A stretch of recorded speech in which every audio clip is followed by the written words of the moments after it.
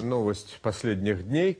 Сомали заявила о намерении признать независимость Южной Осетии и Абхазии. И я думаю, что вот такой сюрприз меньше всего ожидали чиновники в Кремле э, на Краснопресненской набережной и на Смоленской площади.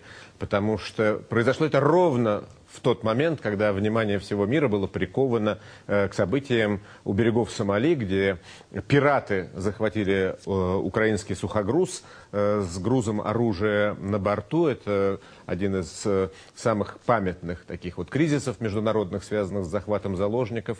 Вообще о Сомали говорят как о так называемом несостоявшемся или там провалившемся государстве, одном из беднейших на планете, и к тому же являющимся источником терроризма и угроз международной безопасности. И вот на тебе такой подарок э, Москве. Именно это государство э, вдруг решило признать э, независимость Южной Осетии и Абхазии присоединиться к, ним малочисленно, к малочисленному кругу государств, которые уже составили нам компанию. У нас сегодня в гостях один из ведущих экспертов по вопросам э, внешней политики, президент фонда «Новая Евразия» Андрей Картунов. Э, Андрей Вадимович, э, вот как вам вообще вся эта ситуация выглядит? На что рассчитывали вообще в Кремле, на Краснопресненской набережной, признавая независимость Южной Осетии и Абхазии? Ведь, э, мне кажется, в результате мы имеем репутационные потери для э, России, для российской дипломатии. Или э, на эти соображения сейчас принято махнуть рукой, наплевать? Ну, репутационные потери, конечно, очевидны. Причем это как краткосрочные проблемы для российской внешней политики, так и проблемы долгосрочного плана. Потому что Россия, особенно после косовского инцидента, находилась в состоянии некого морального превосходства.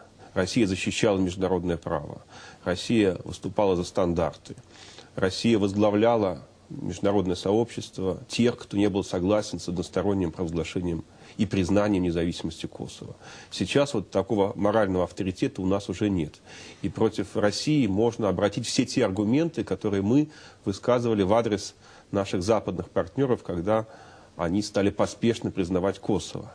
Причем разница между нашим шагом и шагом Запада в отношении Косово тоже не в нашу пользу, потому что, по крайней мере, Запад, Соединенные Штаты в течение многих лет вели подготовительную работу по признанию Косово.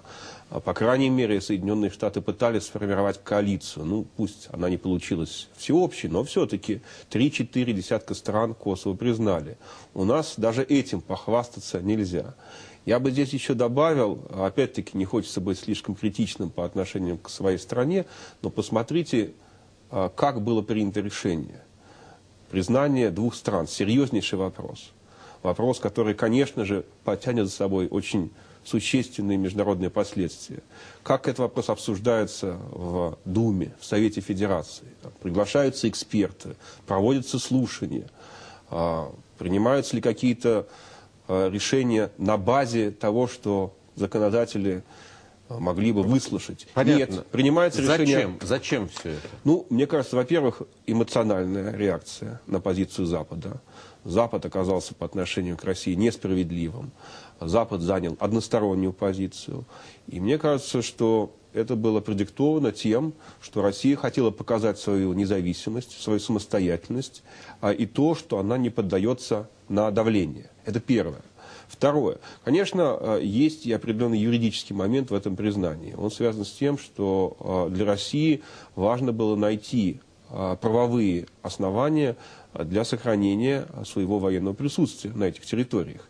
Если эти территории продолжают оставаться частью Грузии, а, а Грузия а, выступает против военного присутствия России здесь, то России будет очень трудно, не имея международного мандата, а, сохранить свои позиции. Поэтому, очевидно, было принято решение еще и вот на таком, я бы сказал бы, легалистском уровне.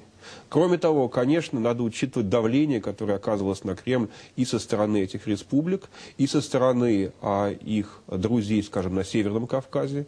Это тоже фактор, от которого никуда не денешься. То есть здесь, наверное, а, сыграл роль целый комплекс факторов, потому что объяснить это просто логикой представляется довольно затруднительным. Скорее, России тогда уж надо было подвесить этот вопрос угрожать тем, что на каком-то этапе такая независимость может быть признана, но, во всяком случае, не спешить с таким решением.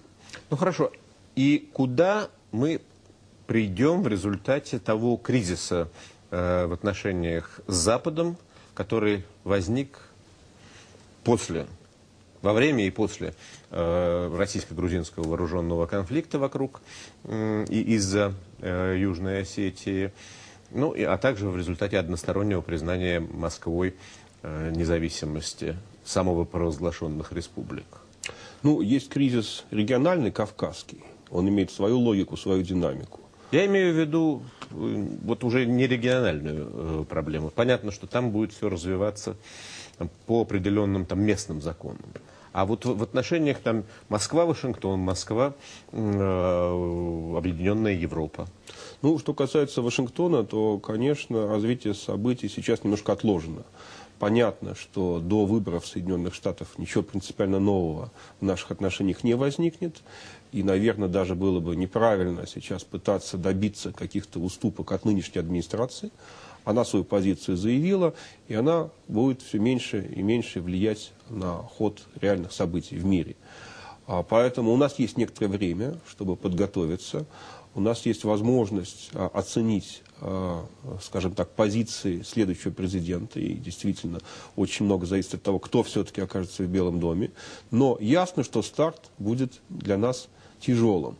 Он будет тяжелым не только по причине э, грузинского кризиса, накопилась масса других проблем, а запас прочности в российско-американских отношениях, к сожалению, очень невелик, но, тем не менее, вот этот кризис на Кавказе, он еще больше усугубляет негативный фон.